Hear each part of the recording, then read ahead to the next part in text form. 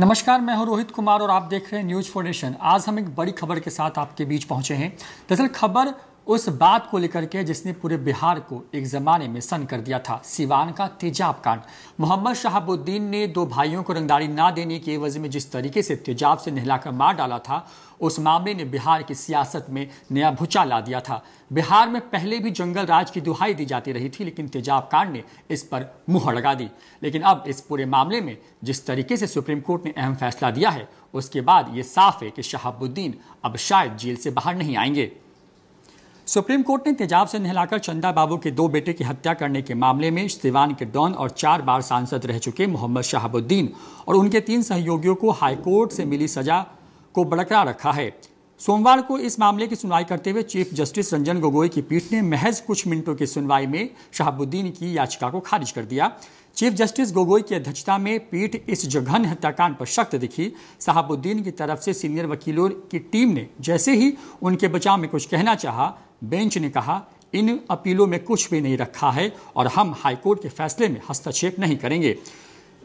Court ने बिहार सरकार के वकील केशव मोहन से कुछ भी नहीं पूछा और मामले का निपटारा कर दिया। 9 दिसंबर 2015 को स्पेशल कोर्ट ने शहाबुद्दीन को उम्र कैद की सजा सुनाई थी। पिछले साल 30 अगस्त को पटना हाई कोर्ट ने भी इस फैसले को बरकरार रखा था। दरअसल अगस्त में 2014 का यह मामला है, जब सिवान में सतीश और गिरीश रोशन की एसिड अटैक कर हत्या कर दी गई थी।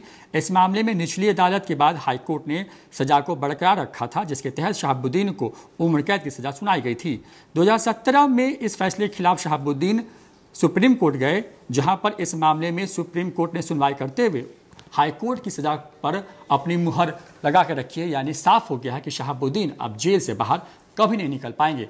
ज़ाहिर तौर पर शहाबुद्दीन बिहार में इस वक्त आरजेडी के नेता के तौर पर जाने जाते हैं और उत्तर बिहार के सिवान में शहाबुद्दीन की जो सल्तनत थी, उस पर किसी की नज़र या हाथ डालने की हिम्मत नहीं होती थी।